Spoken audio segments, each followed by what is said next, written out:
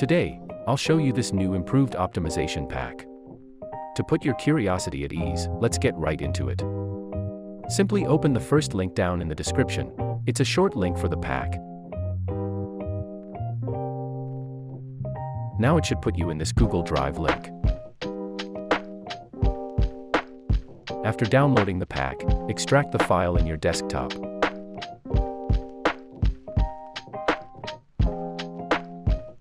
The pack contains six folders.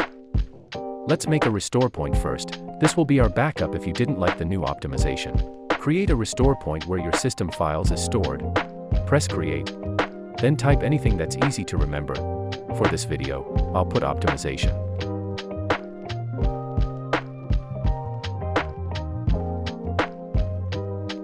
Second folder will be regedit files. Regedit is a tool made by Windows that allows users to view the Windows registry and make changes, so it is important to make a restore point first. Simply open them by double-clicking then press yes then OK. Don't worry these changes won't give any viruses or malware in your computer. Third folder will be Game User Settings file. I recommended three game user settings inside this folder. To install, I added a shortcut for the game user settings file location and a folder for backup. To back up your game user settings, simply open the shortcut then open the optimization folder. Copy your game user settings then paste it in the backup folder.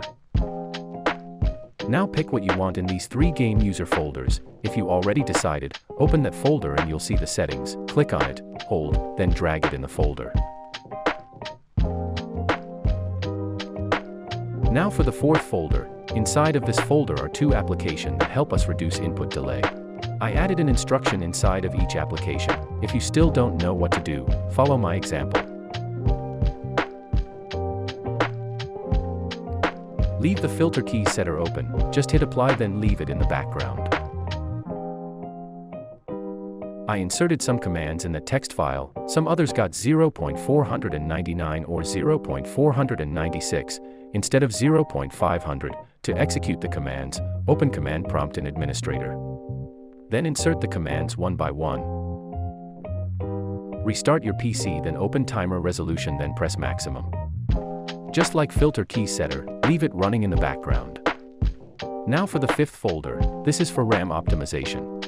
To install, open the installer, press OK, next, next again then choose where you want to store the files, personally I'll store it in my download disk. Then press next, next again, then next again. You can enable create a desktop icon if you want to.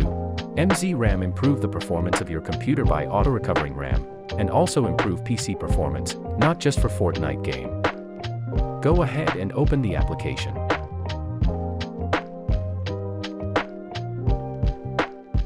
After that, head over to System Speedup, press Recommended Values, then Apply Values, same goes with Options. You can now exit the program, don't worry it's running in the background.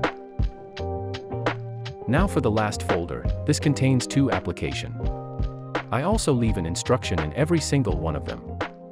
Let's go with throttle stop first, simply open the application. There should be four options. Performance, Game, Internet, and Battery. For this video, we will going to choose game and enable high performance, speed shift, BD PROCHOT, speed step and C1E. Make sure it's turned on, you can check it by looking at throttle hidden icon. If it's green, that means it's on. If it's red, that means it's off. Now, save it and leave it running at the background as usual. Now for the park control application, simply install the program just like what we did in MZ RAM. Now, it should be automatically open after installation. Make sure everything is turned off, or everything is at 100%. Press apply then leave it running at the background. You can choose your preferred power plan profile, I'll choose mine to be high performance, and press make active also. You can see what power plan is currently active, in current system power status. That's all for today's video, I'll see you in the next one.